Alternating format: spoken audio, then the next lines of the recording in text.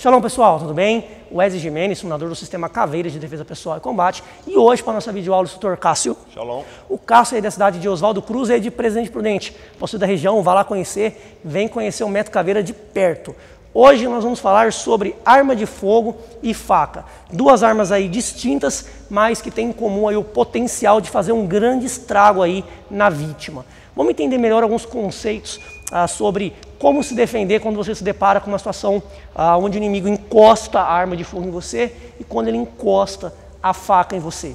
Né? Você que acompanha o nosso canal há tempo sabe que eu sou um pouco resistente em colocar vídeos aí sobre técnicas de arma, de faca, pelo risco que se envolve no dia a dia, mas né, devido a muitas coisas que eu ando vendo na internet, acho que esse vídeo precisa ser feito para vocês, para a gente discutir algumas coisas reais e algumas fantasias. Vamos lá.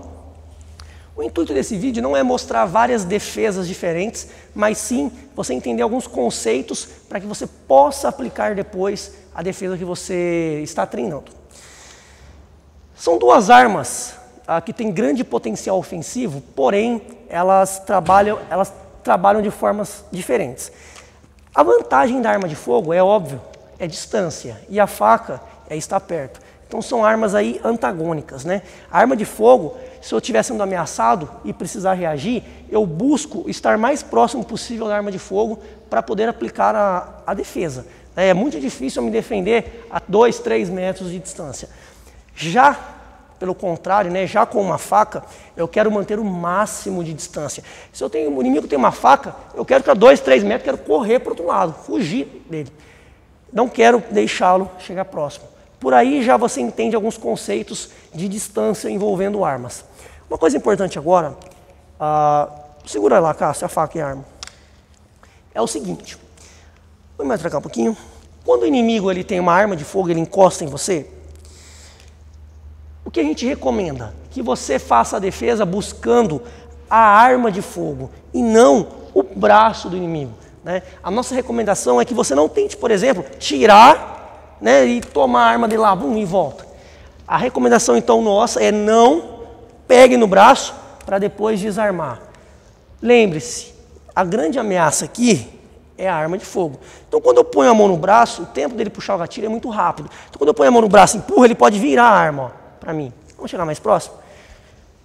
Quando eu ponho a mão no braço, ó, ele vira a arma para mim estou dentro da linha de fogo novamente, da linha de tiro e vou tomar o disparo.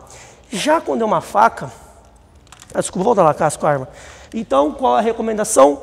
Ao invés de pegar no braço da pessoa, eu seguro diretamente na arma, na, um, na arma. Por que na arma? Primeiro, aponta para mim, Cássio, ele não consegue voltar essa arma para mim. Segundo, ah, eu consigo criar uma pane na arma. O primeiro disparo vai sair? Eu sempre acredito que sim, vai ocorrer o primeiro disparo. Mas se eu segurar com firmeza no ferrolho da arma, e aí vai surgir muito questionamento, ah, não vai queimar minha mão, não vai beliscar. Isso é uma coisa que eu vou gravar um outro vídeo falando, desmistificando algumas coisas. Né? Eu mesmo no stand de tiro já pratiquei com .40, 9mm, revólver, pistola e faço normalmente, né? sem nenhum dano. Mas eu vou fazer um vídeo ainda futuro para vocês. Agora sim eu posso partir para cima dele batendo, né? Ele apontou uma arma para mim, tirei lá, pum, para cima dele.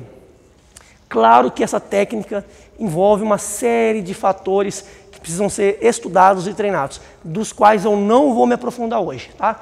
Hoje eu quero que você entenda, é arma de fogo, evita pegar no braço para depois pegar na arma, tente buscar direto a arma. Dependendo da posição, você vai ficar impossibilitado mesmo de pegar diretamente na arma. Um exemplo, a arma está aqui na minha cintura aqui atrás, ó atrás, Cássio.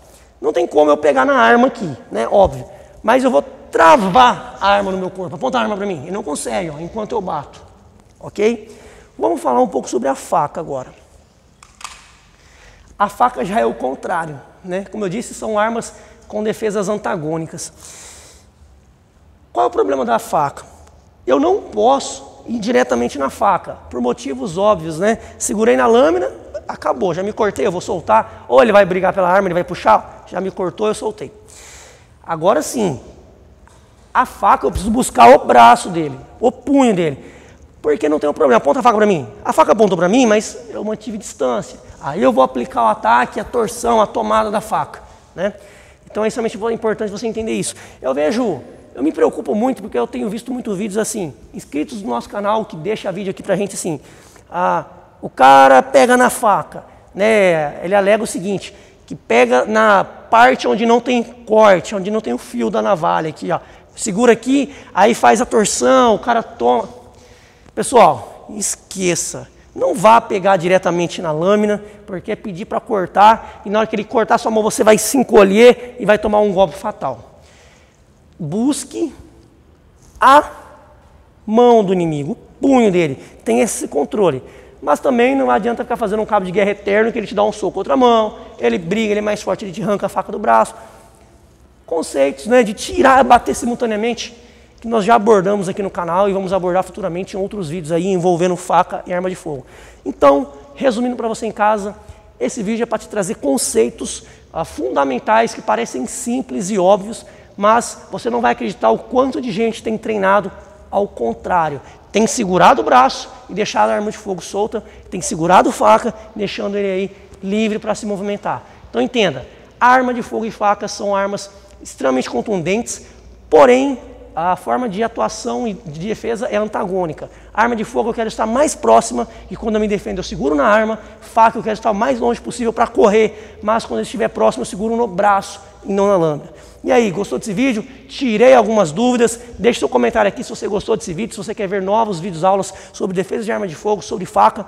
Inscreva-se no canal, compartilhe com seus amigos e vencer caveira!